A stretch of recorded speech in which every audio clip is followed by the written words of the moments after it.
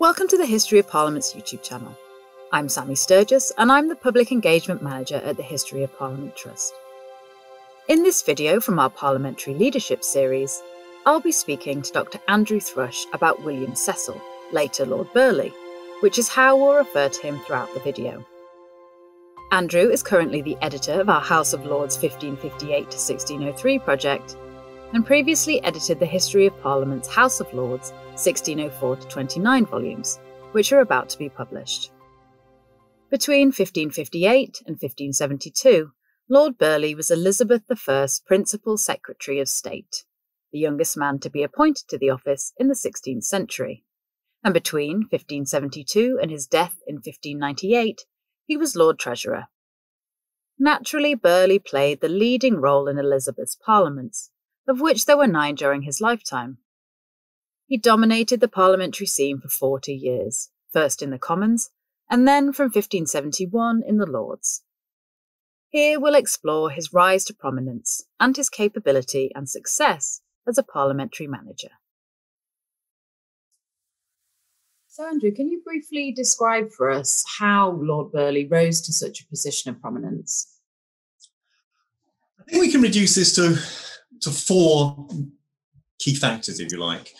Um, first and foremost, Burghley was clearly a man of exceptional intellectual ability. He was um, an excellent classicist, um, well trained in the law, um, but was also, I mean, had, had, a, had a, a, huge appetite for work and was able to process large amounts of information. So this was a man who was clearly of outstanding ability.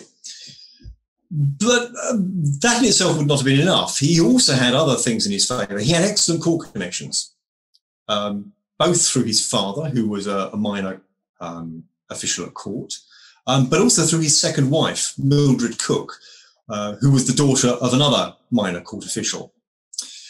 Um, you also have to allow for the fact that, the, that, that apart from being intellectually capable, he also uh, Burghley has this great political instincts. He's got he's got political acumen.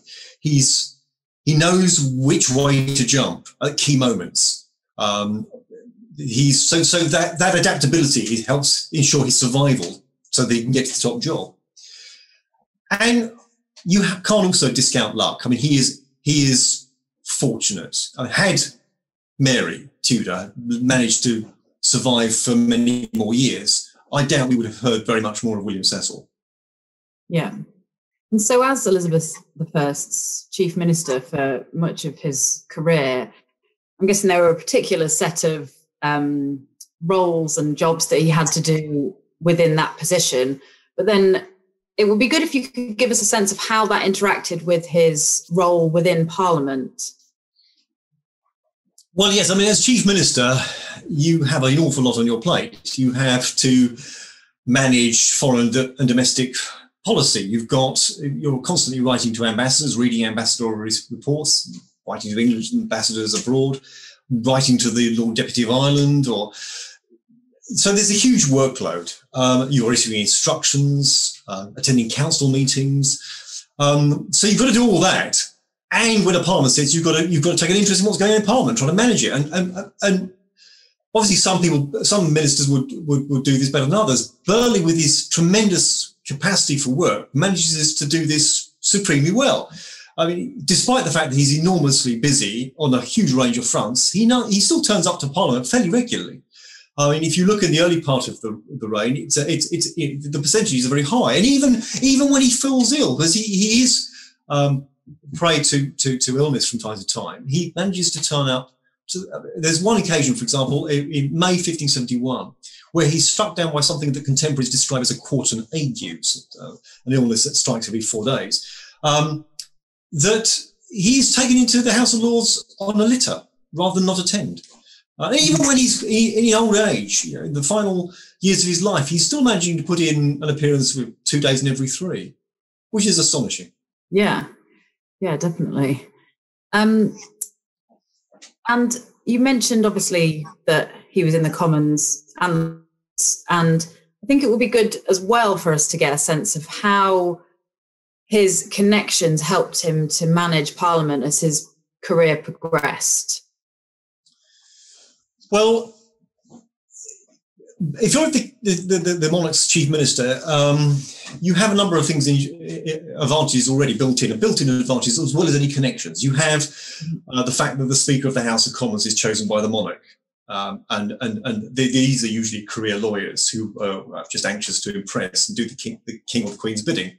Um, you've got privy councillors sitting in both houses, so you've got a you've got a built-in support system, if you like. But the, the connections matter with with Burghley because because um, uh, he has he has got uh, uh, relatives in the house, the lower house, and and and, and friends in in both houses people who he cultivates. And these, these, these friends are, are really of key importance to explaining how he's able to marshal the support he needs. Um, he himself is not a, a, a, great landowner. He doesn't own, he hasn't got in his pocket lots of parliamentary seats like, uh, like some.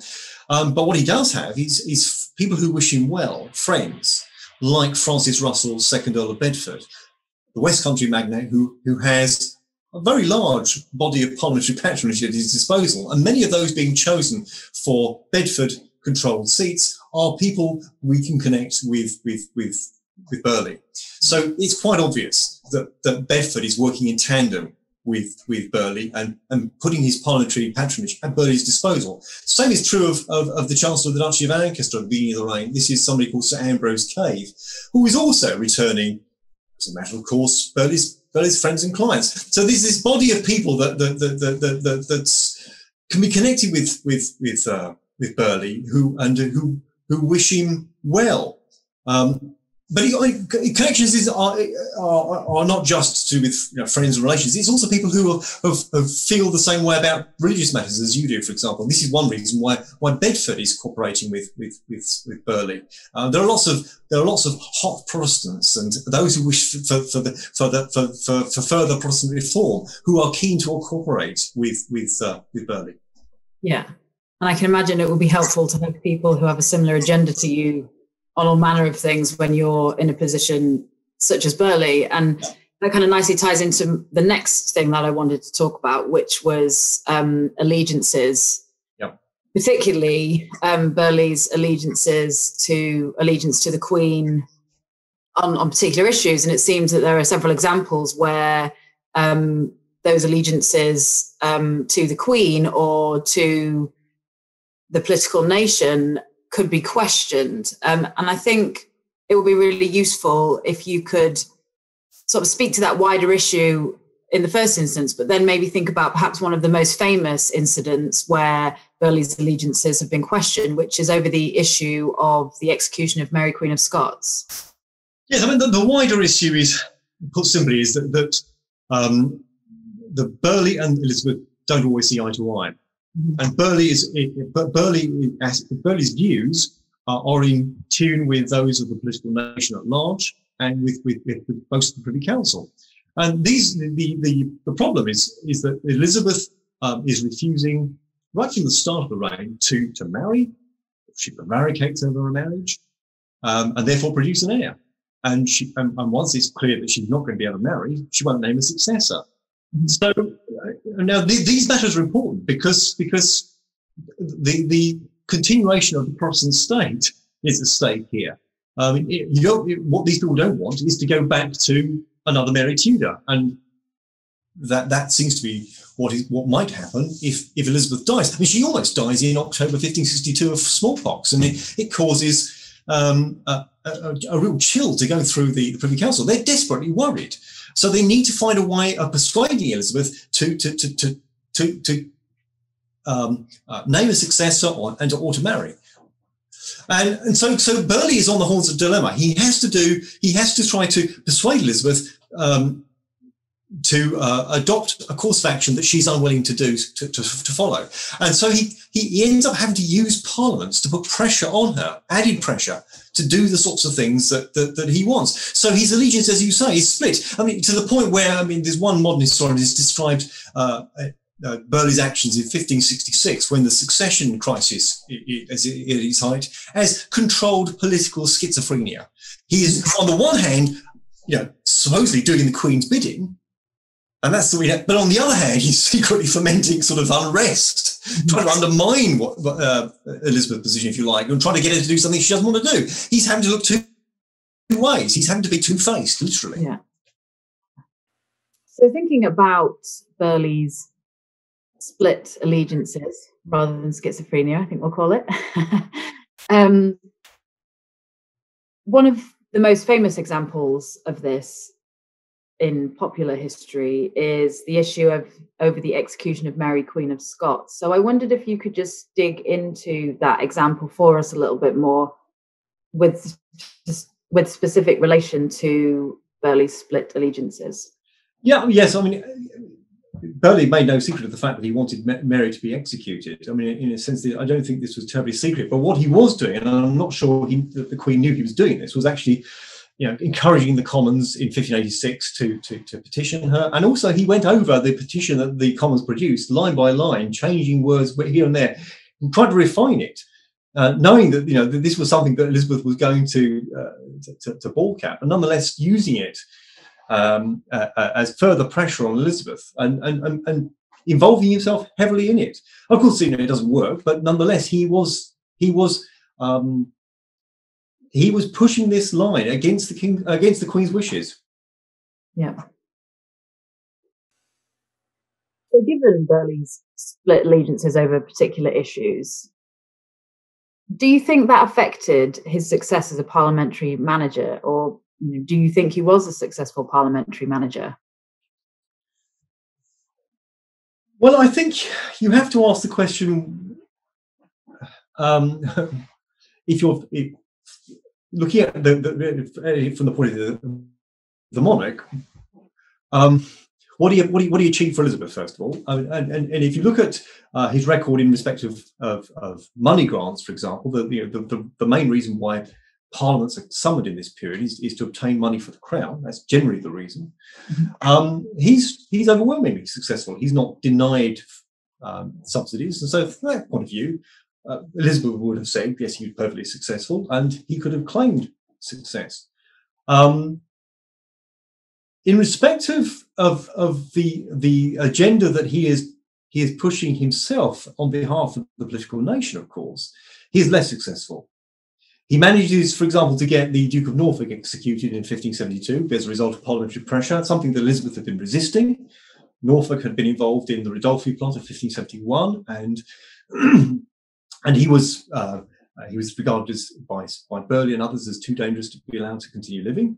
Um, so there is a success there, but on, on, these other issues, on things like the, the, the succession and the execution of Mary Queen of Scots, um, Burghley makes no headway. Elizabeth never uh, gives in to these parliamentary demands, and so you have to say that, that ultimately, despite what some modern historians have written about about uh, Burghley being this successful parliamentary manager, you have to say that this is a record of, of failure. Um, you can choreograph a parliament as much as you like. You can you can you can have as many supporters as you like. You can have as much goodwill as you like. You can push. You can you, you know the whole thing can operate smoothly for you. But if ultimately, if the Queen says no, you know you haven't achieved anything.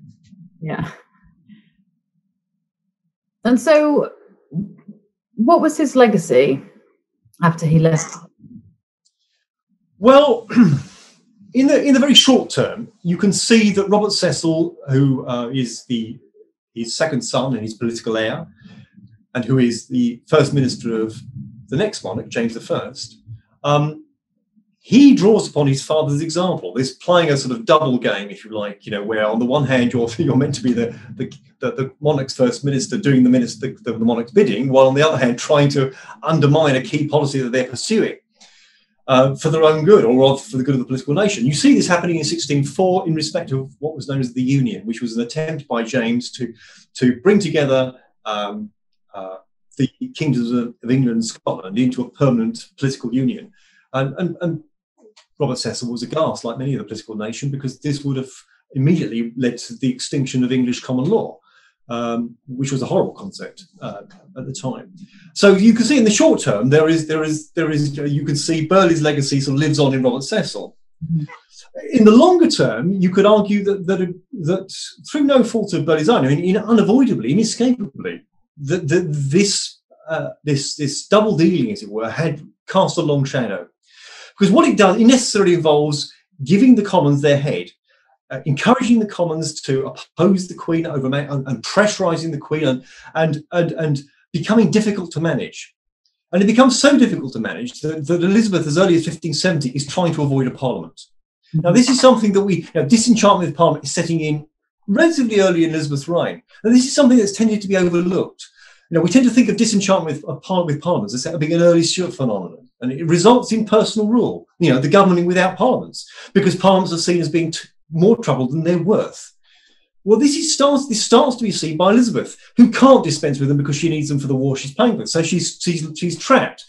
But nonetheless, what you've done here is, is to give the Commons their head, and in the long term, this is going to do, this is going to um, annoy the monarch, making it much more harder for, for, for, for, for ministers to, to, to, to manage them on the behalf of the crown.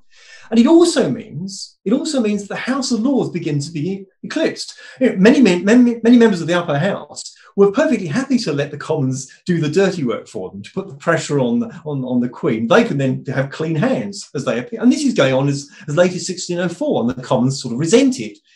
But once you give the Commons their head, the, the Lords start to be eclipsed.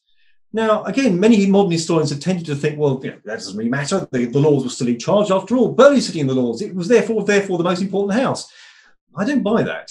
I think that's wrong. I think what's happening is you've got a period, you, the Lords are, fall, are becoming very much um, the second chamber. They're playing second fiddle to the House of Commons by the time James comes to the throne. And I think that that has that that that has from the monarch's point of view, damaging consequences because the Lords was the chamber in which the natural allies of the of the monarch were to be found. Yeah, yeah, very interesting. Yeah, well, thank you very much um, for speaking to me today, Andrew. That's been great. Um, yeah, so thank you also to all of our viewers, and we'll see you next time on the History of Parliament YouTube channel.